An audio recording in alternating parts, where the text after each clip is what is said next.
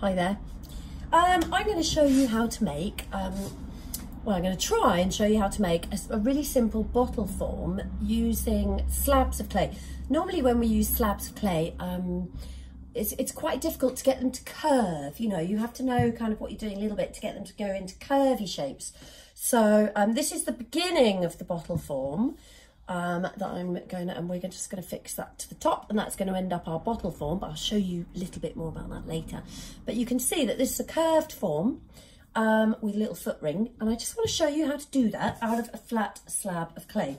So I've actually rolled one out already, okay? it Doesn't really matter what size it is. Um, I don't even know what size this one is, but you know, uh, you can experiment with size, that doesn't matter. But what you do need to do when you are stretching and forming slabs of clay, um, and you kind of want your slab of clay to go in a bit of a different direction, you need to have, excuse me, a little bit extra clay there so that you can stretch it. So you must roll out your clay a little bit, um, a little bit thicker. Okay, so this is about nine mil, which is quite thick, but in order to, to, to get it to do what we want to do, we need it. We need that extra thickness so that we've got some mass and bulk of clay there to stretch and form into um, a different shape. It's fine, you know, flat slabs of clay, you can have them really thin if they're just going to be flat or they're just standing upright, but you need a little bit extra bulk there to stretch and form into different um, shapes.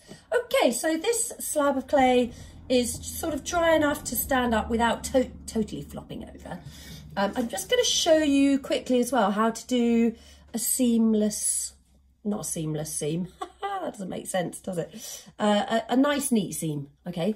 So if you just take um, your length of clay and you and you make it a little bit longer than you need it because what you actually want to do is overlap it quite substantially like that, okay?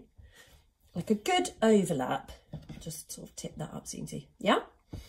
And then I'm just going to stand up, hello, stand up and I just want to get that nice and straight. Can you see? I've got that nice and straight.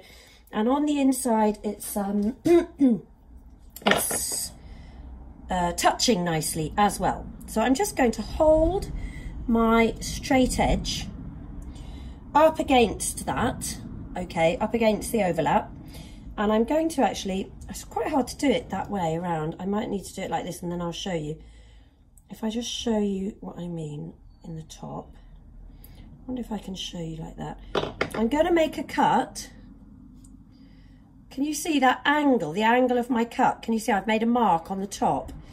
It's a very, um, what do you call it? What do you call it? Obtuse? Acute? One of those. okay, so then at that nice angle, I'm just going to push down through both layers of clay all the way to the bottom. Okay, so then we'll take that straight edge away and I've cut right the way through.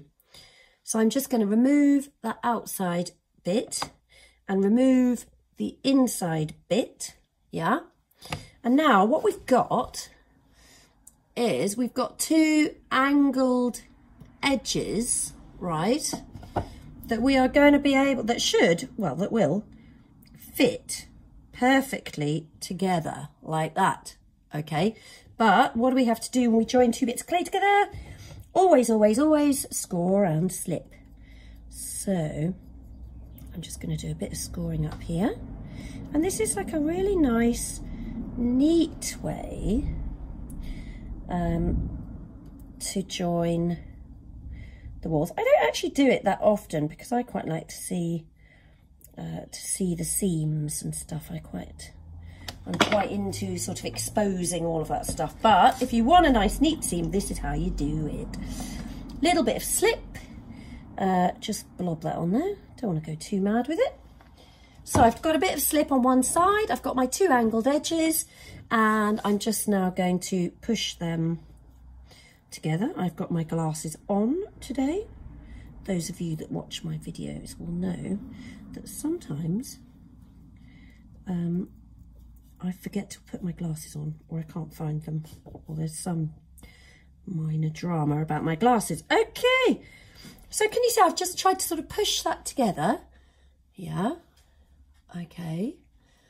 Can you see now? You can see that angle of the cut. Yeah, and how those two edges go together really nicely. Right, let me just, oh, sit down a minute and have a proper look. I'm just, just going to press those together a little bit more. And what you want to do as well um, with when you're working with slabs is it's a good idea to try not to poke it with your fingertips too much you know, because once you start jabbing in and poking it, you're just going to dent it and make it look, you're, you're just going to kind of lose the crispness of the form of having a nice flat slab of clay. So try not to pokey pokey. Um, I'm just going to actually go on the inside.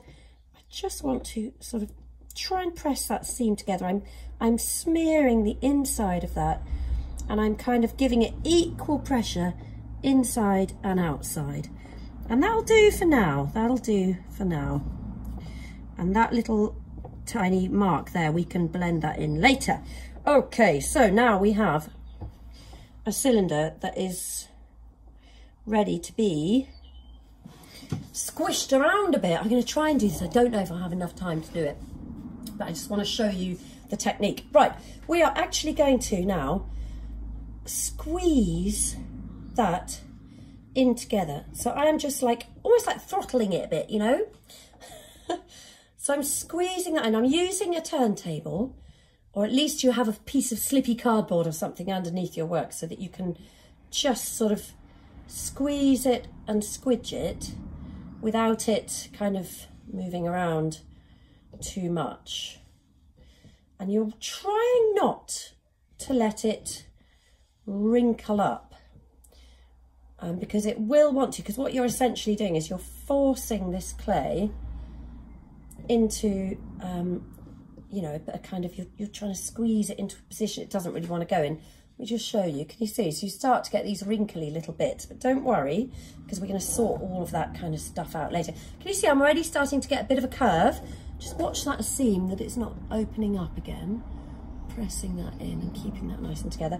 So now I'm really hugging it in. I'm squeezing it all the way around. So it's kind of, I can feel it sort of, I can feel it stretching and moving and coming in. And I'm sort of trying to do it as evenly as possible.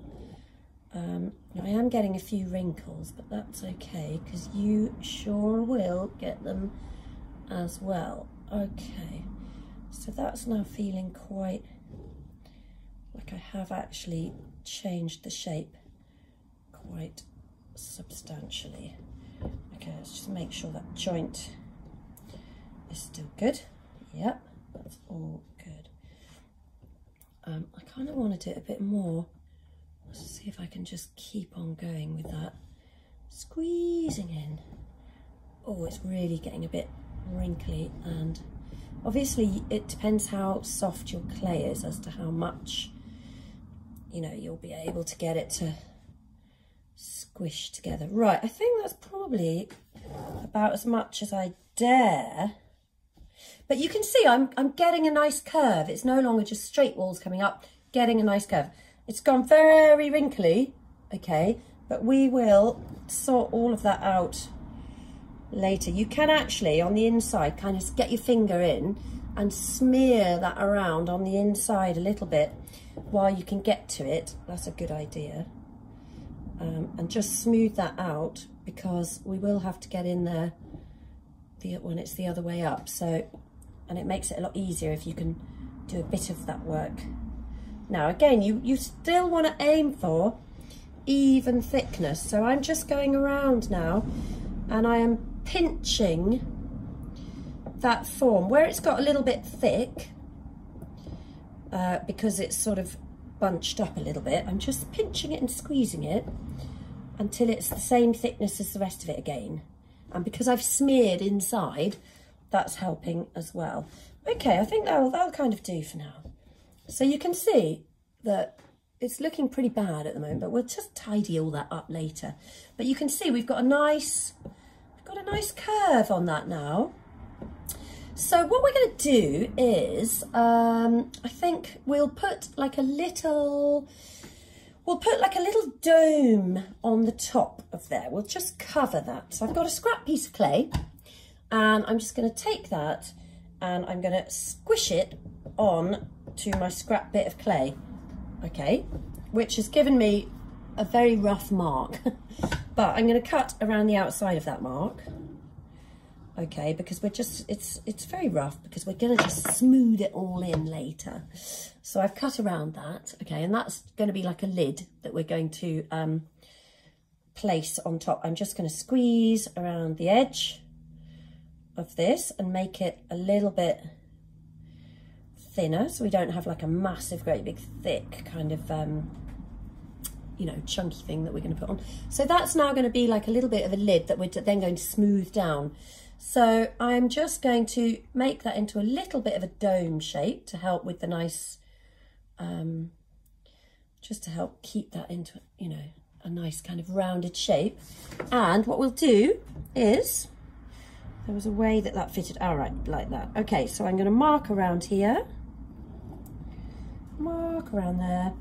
And I'm going to score of course because we always always always score scoring around here where the two pieces are going to join.